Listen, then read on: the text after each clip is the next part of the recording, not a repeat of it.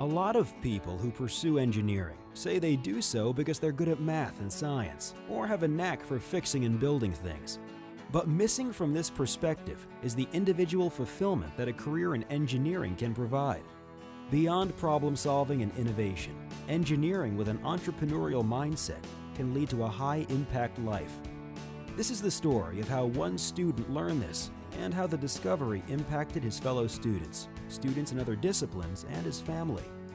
Dale's my little brother. Um, he's triplegic. He doesn't have use of his left arm or his two legs.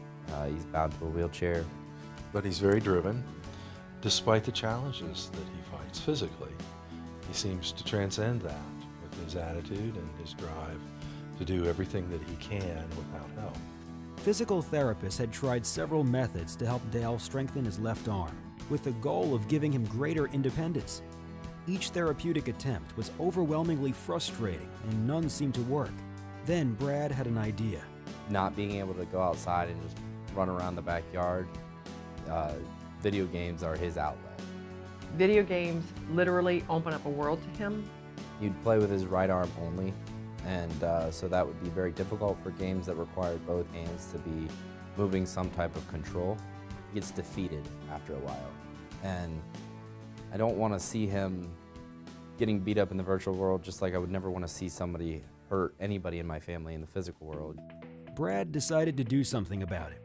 He asked his professor if he could work on the project in his capstone engineering course. And I said I'd love to make a, a controller that could use that could help Dale play these video games.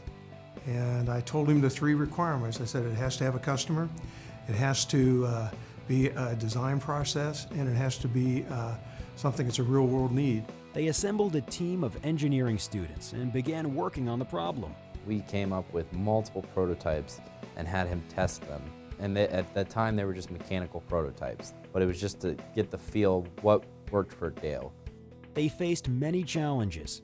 Could they create a design that Dale could control with his left hand? Could they program the interface so that it would interact with the video game? After several attempts, they made a primitive prototype that allowed Dale to move a dinosaur across a computer screen.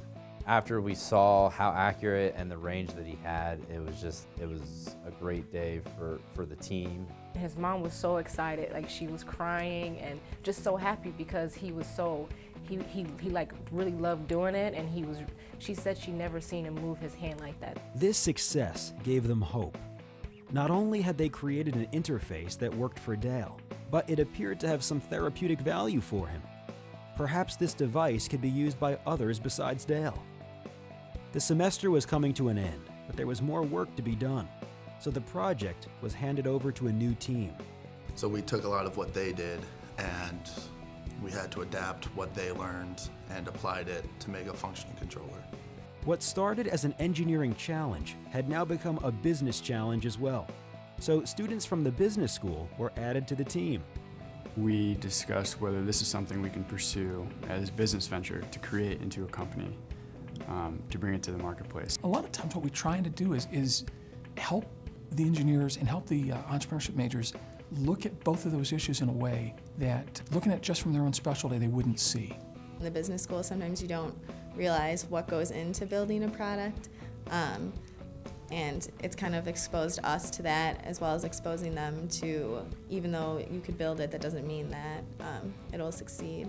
They also explored other applications and other industries beyond video games that could benefit from the device. The second team made improvements to the design and electronics. They used 3d printing to create a new prototype. The time had finally come for dale to test a functioning controller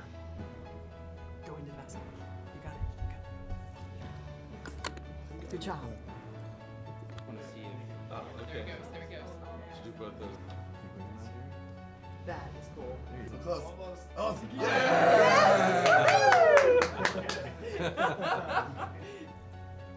yes! Good job. There we go. What we saw here was, in our minds, uh, I think nothing short of miraculous. We actually saw improvement in a very short period of time.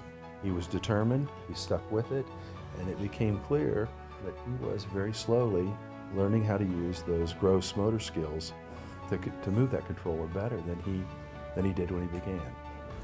It reinforces my belief that someday Dale can use both of his arms effectively and become more independent. This provides a fun way for him to do therapy um, and get those thousands of repetitions that are actually needed to rewire the brain and reorganize the brain and nervous system. If we can make it fun and make it more like a video game, suddenly um, you know, he's able to, to reach and move and, and push those muscles, challenge himself. The greatest thing was today when Dale was using the prototype and he scored the first basket and the whole room erupted. The human part of the engineers came out. This is why we do it. When you see that what you're doing makes a difference in someone's life, you, you just you can't beat that experience. Seeing Dale playing with the product that our engineering team created was so fulfilling. That was probably my first big project where we actually put engineering to work and see how it affected the world. I think we see it more, more than a customer. This is for Dale. I do see the role of engineering differently, it, and it it changes a lot about how you think about what you do. Keeping him in mind, keeping the customer in mind, I think will be definitely something I take away from this. They understood now what it means to have an entrepreneurial mind, mindset. Uh, when they started this semester, they, uh, they were looking to solve a problem. Uh, now they're looking to how can they meet a need that really exists in society. There are opportunities out there for engineers to dramatically change people's lives for the better, and we need them. Without engineers, these things don't work. It's only through engineering that you can do this. They've made a huge difference here. Brad's project was supported by the Kern Entrepreneurship Education Network, a collaboration of universities working together to instill an entrepreneurial mindset in undergraduate engineering and technology students. Part of being in KEEN School really you know, enables us to apply you know, this knowledge into a, into a field that we know is really going to affect someone um, in need. Engineering education develops skills, but engineering education applied with an entrepreneurial mindset impacts lives. What would you say to the engineers that made your made the controller? What do you want to say? Thank you. Look at the camera and tell them. Thank you. Thank you for. Thank you for my freedom.